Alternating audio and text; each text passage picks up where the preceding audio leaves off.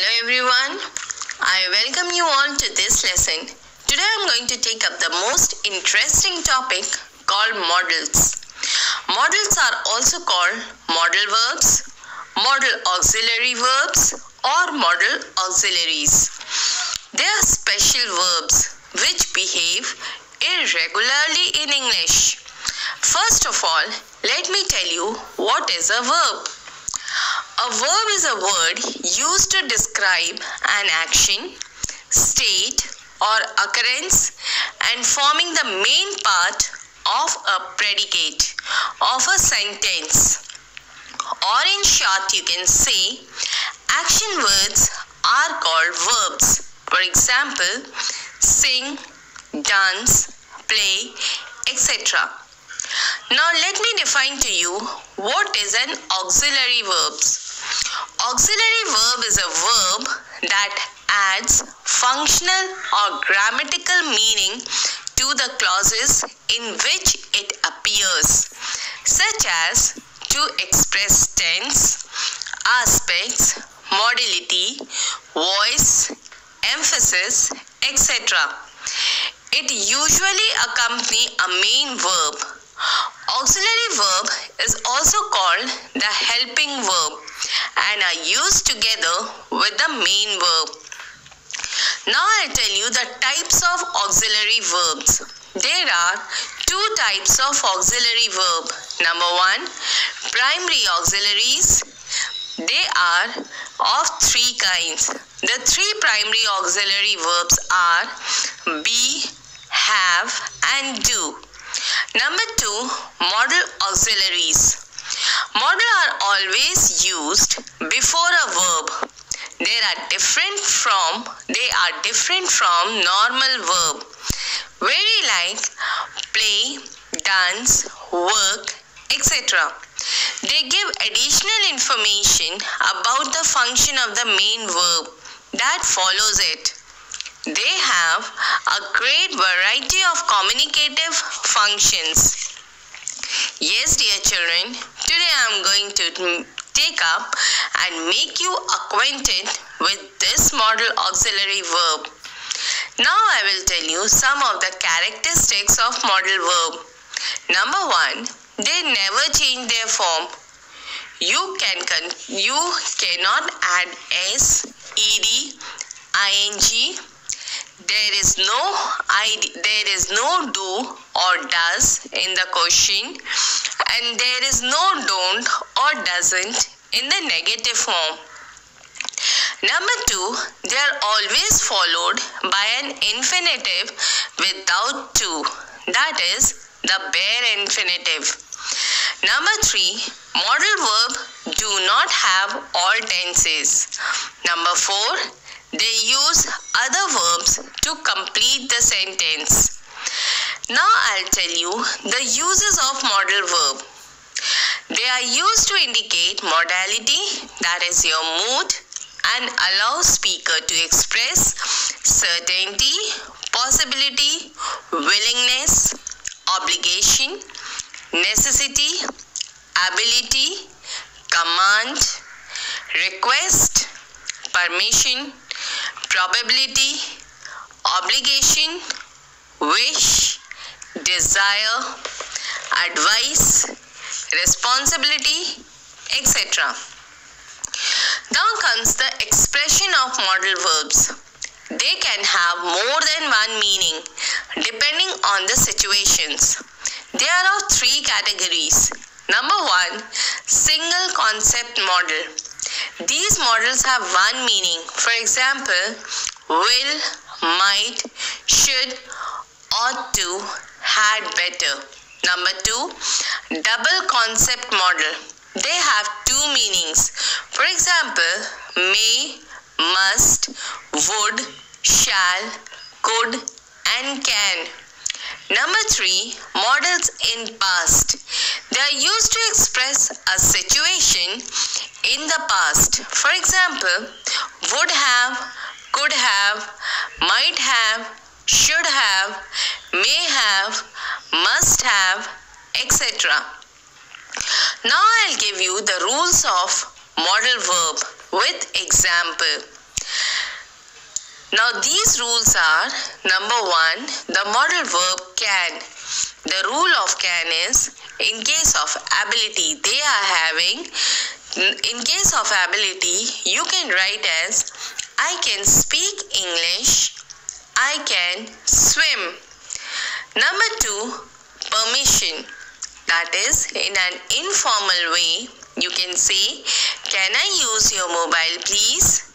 Shivani can you speak? Shivani can speak three languages.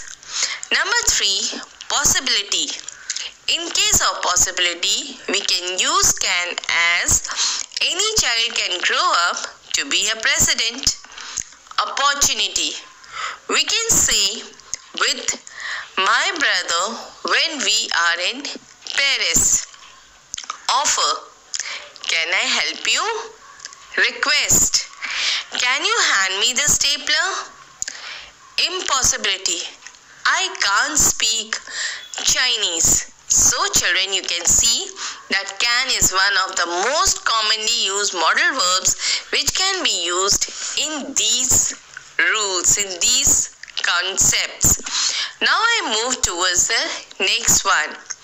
And when you have to reject, in order to reject any modal verbs, for example, ability, permission, possibility, opportunity, request of can, then it becomes can't. Now I move towards the second one that is could. Could is used in conditional sentences. And the rule for could are number one, ability in the past. That is, when I was young, I could run fast. Number two, polite permission. You can use it as, excuse me, could I just say something? Number three, possibility. Example, it could rain tomorrow. Number four, polite request. Could I have some water please? Or could you fetch me that book?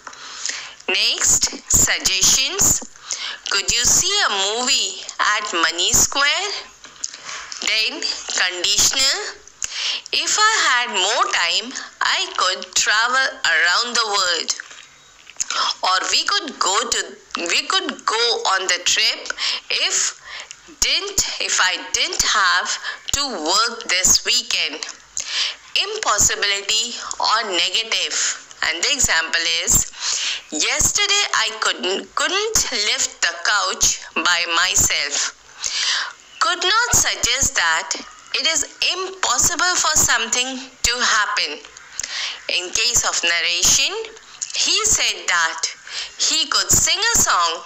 Rajiv said that he could play a guitar. Now I move towards the third modal that is may. May is used in a formal manner that is in school, colleges, office or in front of any elders. Number one, rule for me is polite permission. Example, may I use your phone please? Number two, possibility. It may rain tomorrow. They may come by car. Probability. May he maybe he is right. Number four, giving permission. You may leave the table when you finish your dinner. Number five, wish or blessings. May God bless you. May you live long. For may does not have any negative form. Now I move towards the fourth modal that is might. Might is the most commonly used modal verb. It is often used in conditional sentences. And the rules for modal might are number one, possibility or probability. And the example is, I might go on holiday to America next year. Number two, conditional. If I enter the contest, I might actually win. Number three, suggestions. You might try to the Chinese cake. Number four, request. In British form, we can write as might I have something to drink. In case of impossibility, that is negative form. The example is she might not take a bus. Might not suggest that you do not know if something happens. Then I move towards the fifth modal verb and that is must. The rule for must are number one, obligation or duty. Must is always used as compulsion, that is, no option. You have to do it. Must is more powerful than the modal verb should. Now, the rule for must is number one, obligation or duty. And the example is his mother is not well. He must take care of her. He must apologize his mistakes. Number three, if you like the video, you must hit the like button. Number two is necessity. Plants must have light and water to grow. Number three, certainty. Look at all that snow. It must be really cold outside. Number four, strong recommendation or strong advice. And the example is the cupcake here are delicious. You must try one.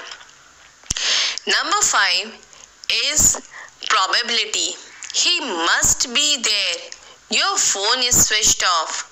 Number six, positive logical assumptions. And the example is he must have won the lottery with the new house and car he has just brought. Now I move towards the sixth modal verb that is shall. Shall is a modal verb which is used to indicate future action. It is most commonly used in sentences with I and we.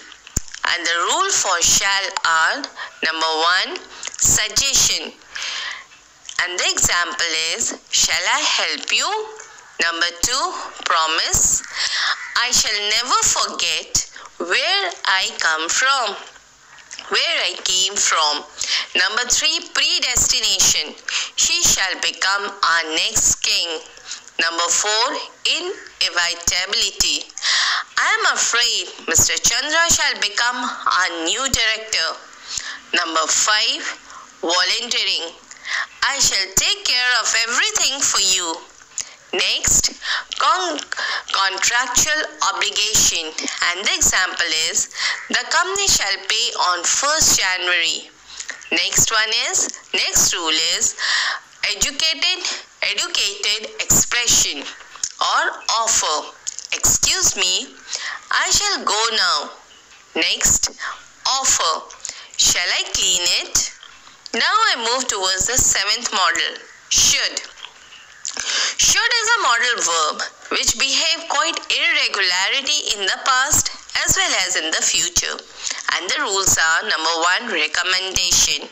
For example, when you go to USA, you should visit Grand Canyon. Number two, advice. You should not talk while eating or you should focus more on your study and less on your sports. Number three, obligation. I should be at work before 9 a.m. Number four, expectation. And the example is Yatish should be in New York by now. Number five, negative form. Jim should not smoke so much. It is not good for health. Now I move towards the eighth modal. will.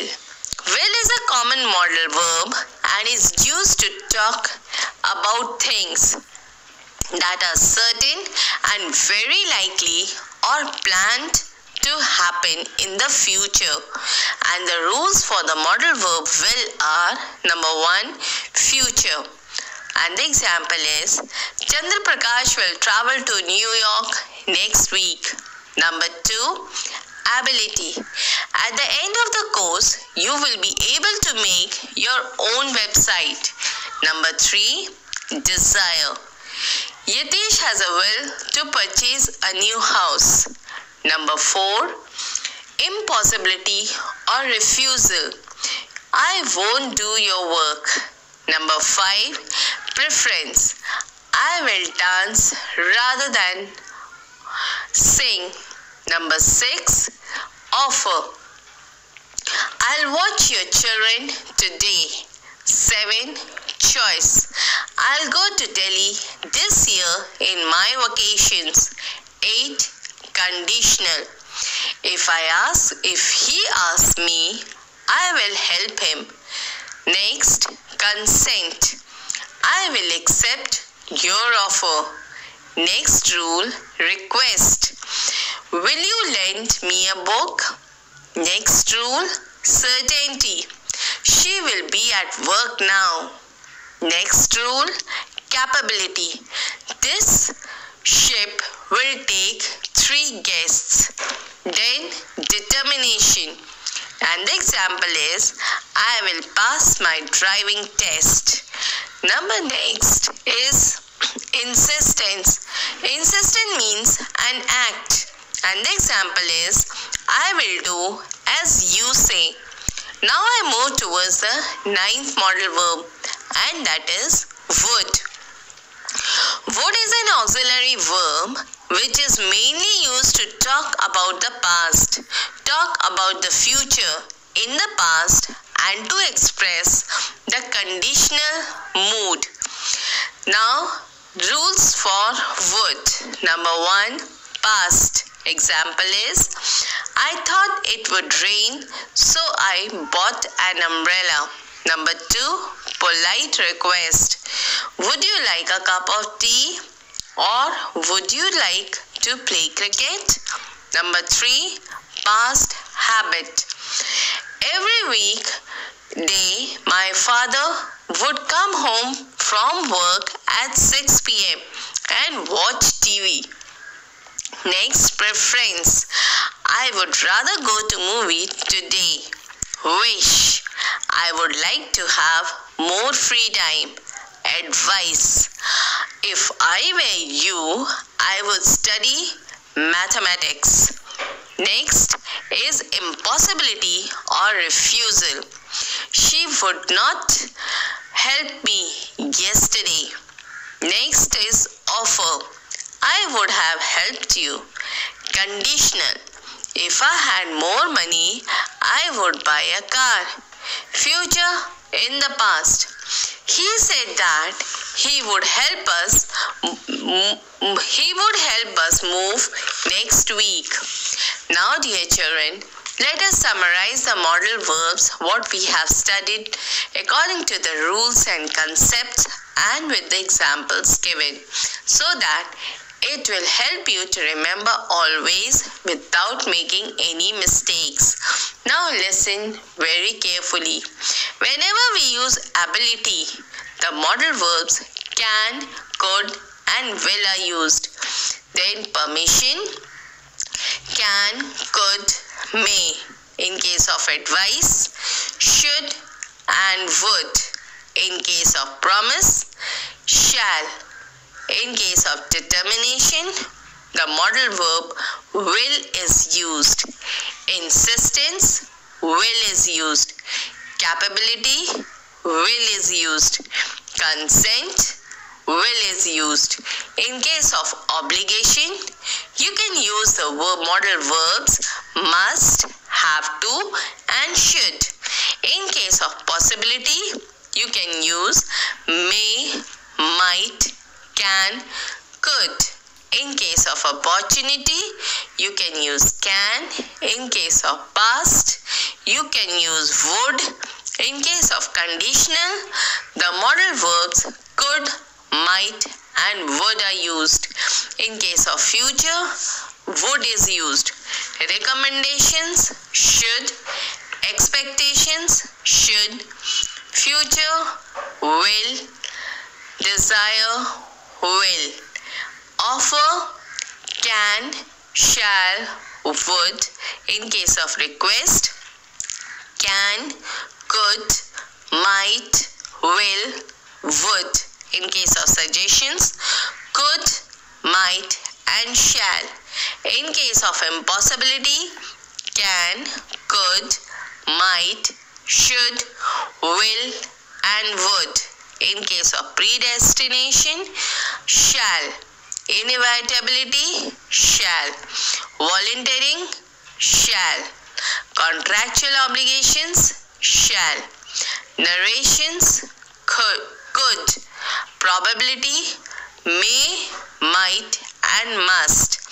Wish, yeah, or blessings, may and would. In case of necessity, must. In case of preference, would. In case of certainty, must and will. In case of strong recommendation and strong advice, must. Positive logical assumptions, must. So, with these words, I end my lesson. I hope it, it has cleared to you all the doubts which you had in your mind. I hope it this lesson will be beneficial for you in your study. Thank you.